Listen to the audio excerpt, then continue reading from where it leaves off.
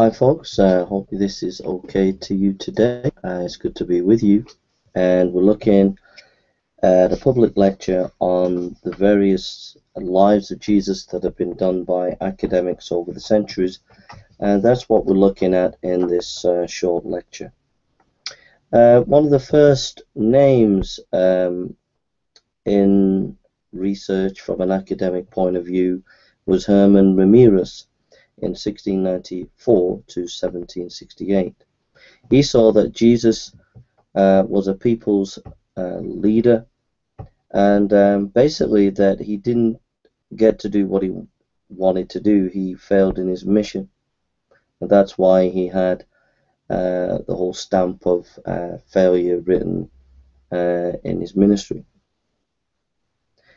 Um, Jesus' uh, disciples were ambitious and um, they made up the story that he was a supernatural person. The conclusion here is that Christianity is a fake, and um, basically that the system really had deism behind it. Uh, one of the problems with Reimarus is there wasn't a very good historical criteria, and Schweitzer uh, pointed this out. Then, after Herman Reimarus, there was um, a development of rationalism. This generally sentimentalized Jesus as a great teacher. Um, this made Jesus look exactly like the rationalist in um, getting Jesus to teach truths that they accepted. Um, rationalism didn't look at Jesus from a historical perspective but more of a universal teacher of truths. Uh, the rationalists saw miracles could be ex uh, explained rationally. The cures were just um, various things that Jesus carried in a medicine bag. For example, Jesus took along a few jars of wine to Canaan in order to sort out the issue of running out of wine. The Essenes are the ones that helped Jesus uh, to be released. He did not die. Problem with rationalism is it lacked a historical foundation. Then you had, from rationalism, liberalism. David Strauss was the main guy here, and he was influenced by Hegelian philosophy. And that posited a supernatural thesis and a rationalism antithesis and you bring it together and you have a synthesis which is a myth.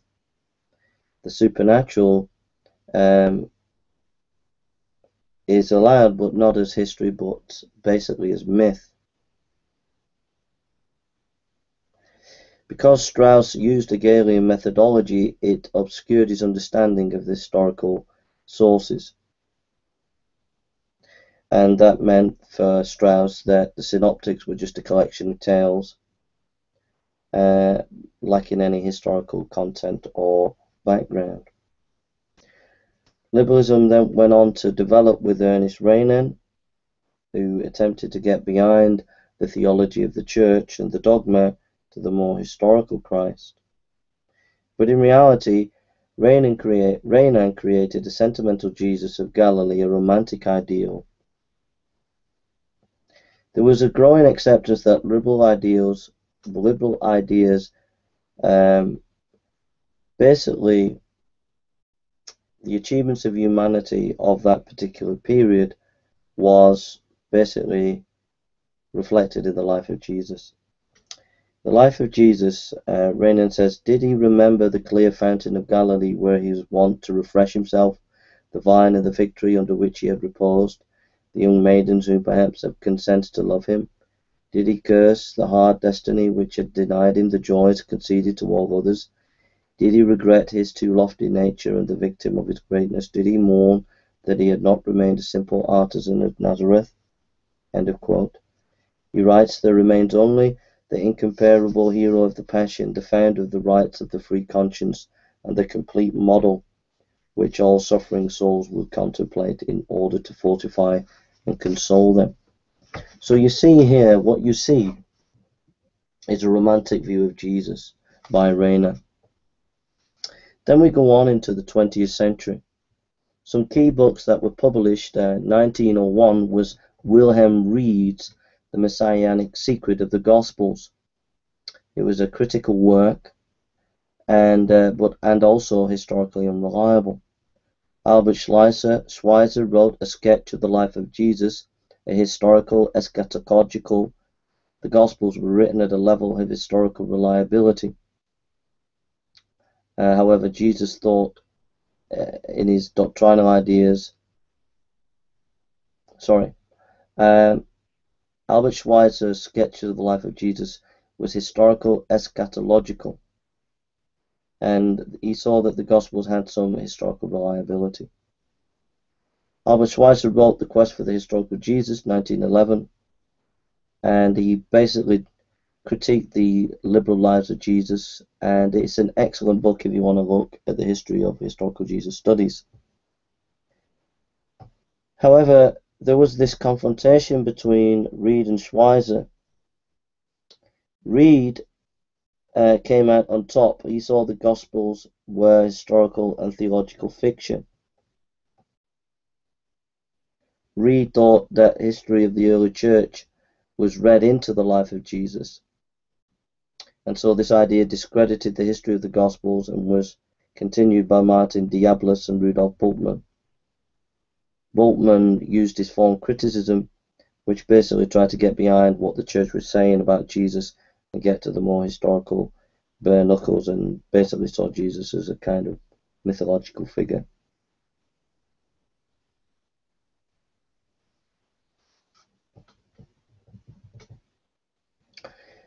One of the things about this history of historical Jesus studies is there was so much material to work through.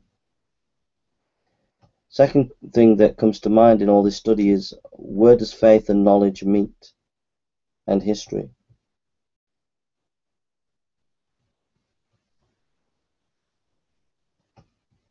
Okay. So we're just going to look at some of the big hitters in historical Jesus studies. Uh, first of all, Dominic Crossan in the historical Jesus, the life of a Mediterranean Jewish peasant. N.T. Wright says Dominic Crossan is one of the most brilliant, energized, learned, and quick-witted New Testament scholars alive today.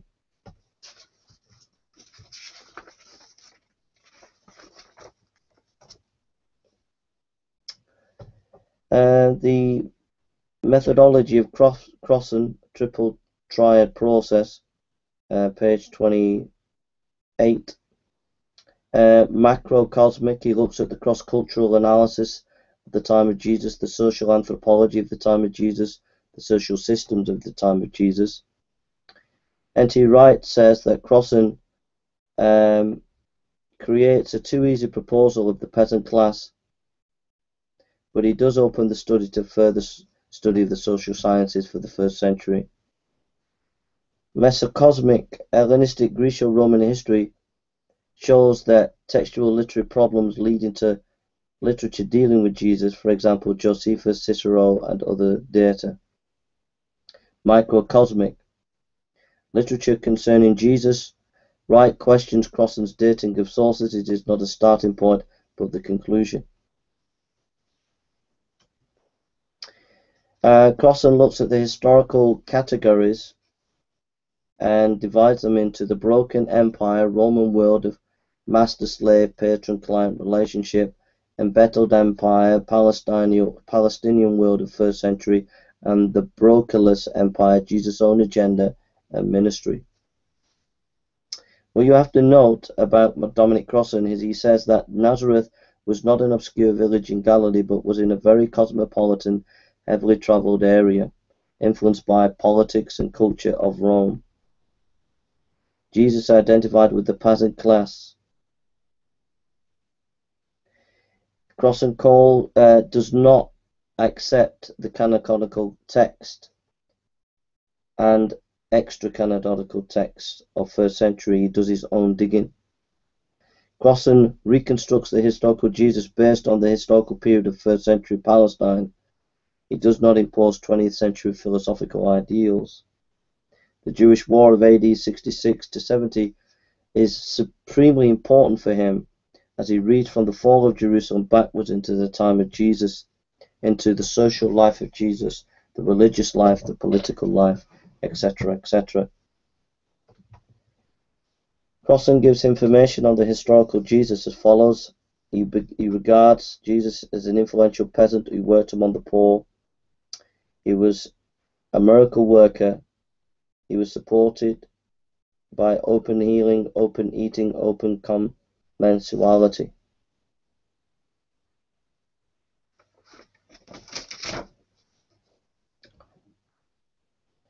He notes the symbolic action led to the arrest of the execution. He believed Jesus was a fully fledged uh, Jewish Cynic. He wanted to bring contact with people into the presence of God. Jesus uh, arranged his ministry under the auspice of the symbols of magic and meal. Magic equals miracles done by the wrong person, meal associated with wrong people. And then finally, Jesus, uh, the people of Jesus didn't know why he died.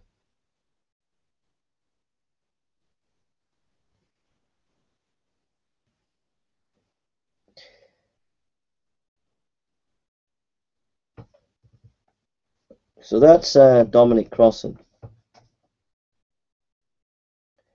Um,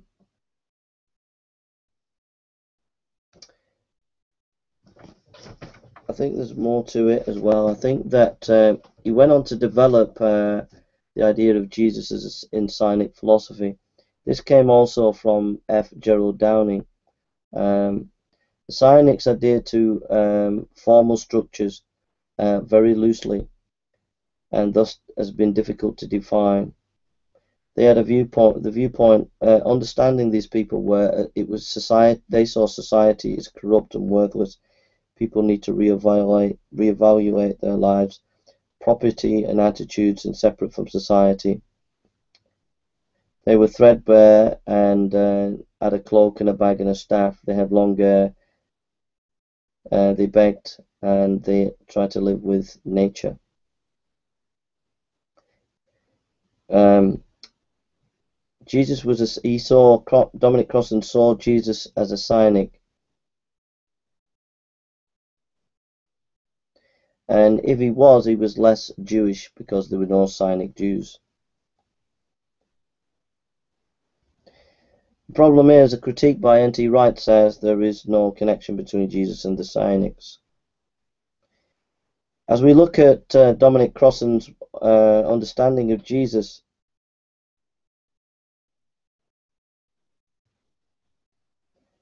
is that uh, there are divergent views of Jesus and the sorry in the in the flow of historical studies of Jesus there are divergent views which the scholars say are perfectly valid but which I say are, are not scholars uh, through this period saw Thomas Christianity as reflecting asceticism. Pauline Christianity saw Jesus died. Q Christianity, no interested in Jesus' death and resurrection. I don't believe in the Q, by the way. Exegetical Christianity, interested in the historical Jesus. N.T. Wright's uh, model, uh, Jesus and the victory of God.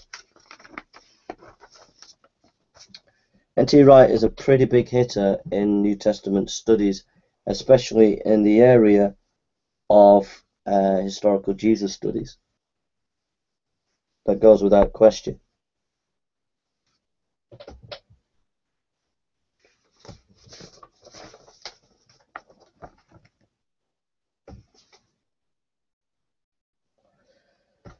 Wright does not want to admit that history and theology cannot work together. He believes that there is an objective basis for holding both together.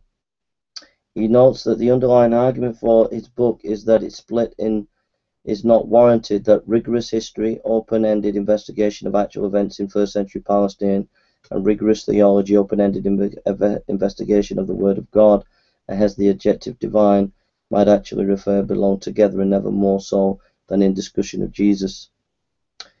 Also, there has been an acceptance of the value of historical research, but much of the present research has resulted in negative results. Wright is more positive in the results of historical study. Based on the work of Kenneth E. Bailey, 1991, Wright argues that synoptic stories have a basic historical truth controlled and ensured to be accurate to the community. Divergence are followed for material that is irrelevant to the identity of that community. Page 134, 136. Summary of Jesus' life, page 147, 150. Born in 4 BC, grew up in Galilee in Nazareth near the city of Sepphoris. Spoke Aramaic, some Hebrew and Greek. Emergence as a public figure around 20 AD, uh, with John the Baptist emerging before him. He summoned people to repentance and announced the kingdom of God using parables. He went to Galilee uh, did cures, exorcism, and table fellowship.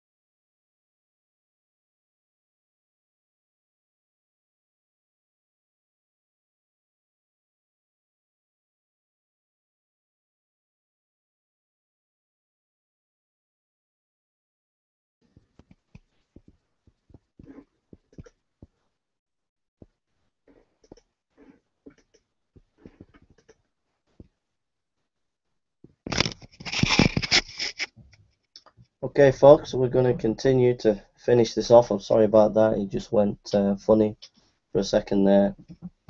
Uh, so sorry about that. So we looked at teaching, uh, preaching ministry of Jesus in page 594 in the Victory of God. Jesus and the Victory of God by N.T. Wright. It's a massive work, by the way. And what we looked at there is uh, Jesus didn't expect the universe to end as far as N.T. Wright's concerned, um, that there was no desire for military uh, revolution, and uh, he envisioned the building of the. He did not envision the rebuilding of the temple. So, what did what was the uh, the things that Jesus did? Well, he came to announce the end of the age he wanted a development of the people of God, but nothing to do with the temple. Uh, he felt that his suffering and exile would bring in the new people of God. Uh, Jesus wanted to take on the life of Israel upon himself. The destiny of Israel was seen in him. He felt that he could not do it any other way but by the cross, page 595. Some of the key Old Testament passages that N.T. Wright explores are Daniel 7, where you have promises, Zechariah 9 and 14, where there is suffering and the royal shepherd, Psalm 22, 110 and 118, the suffering and vindication, Isaiah 40, 45, redemption. And uh, these passages show that redemption, suffering, would bring the defeat of evil. N.T. Wright says in page 609 through his work, Yahweh would defeat evil, bring the kingdom to earth, and enable Israel to become, after all, the light of the world. Through his work, Yahweh that he was not just a God, but God. Page 609. Jesus believed that with his death there would be the radical defeat of evil, page 611. N.T. Wright then goes on um, that Jesus saw himself in the line of the great prophets, page 168. We are here, historically speaking, on certain ground. Uh, parables were told us many times in many different ways and had historical veracity. The Beatitudes were told a number of times. There was an urgency in Jesus' message, and there was an invitation to Israel for renewal in covenant, restoration in creation, liberation in Israel, uh, the return of God.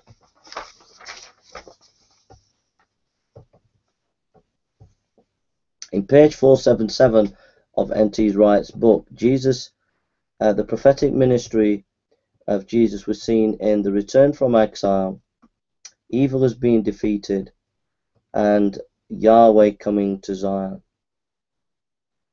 Page 477, N.T. Wright says, Jesus saw himself as the leader and focal point of the true returning from exile Israel. He was king through whose work Yahweh was restoring his people he was the Messiah.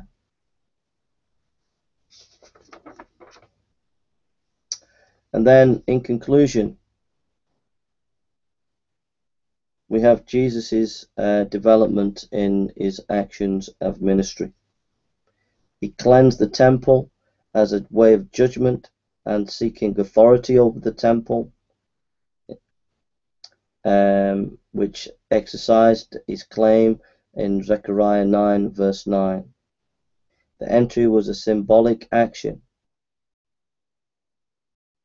N.T. Wright says in page 490 Jesus' action in the temple constitutes the most obvious act of messianic praxis within the gospel narratives. Page 49 King had an ultimate authority in the temple. Jesus' temple action was acclaimed to royal status. Page 494. Then we have the Passover meal, which was a symbolic Exodus, page 559 of N.T. Wright's book. The Last Supper meal symbolizes a new Exodus, page 59559.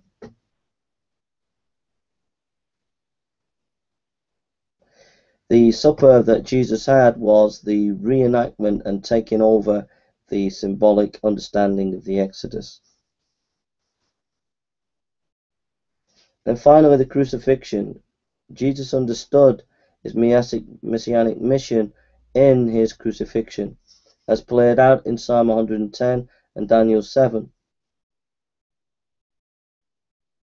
Jesus was passing judgment on Caiaphas and the apostate Israel. The blasphemy came from the accusation of blasphemy came to Jesus because he rejected Cephas' prophetic word regarding the destruction of the temple.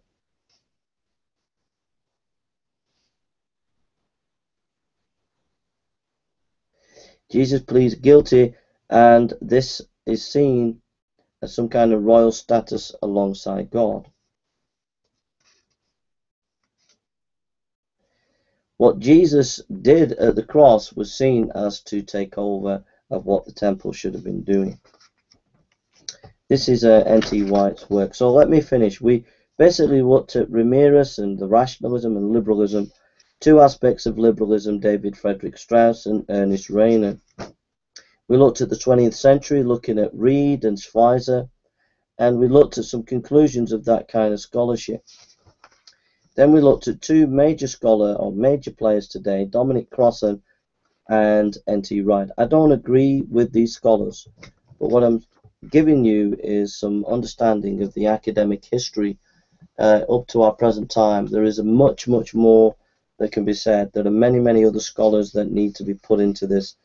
But this is just a little introduction for you on this topic, and I hope it's been a blessing. God bless you.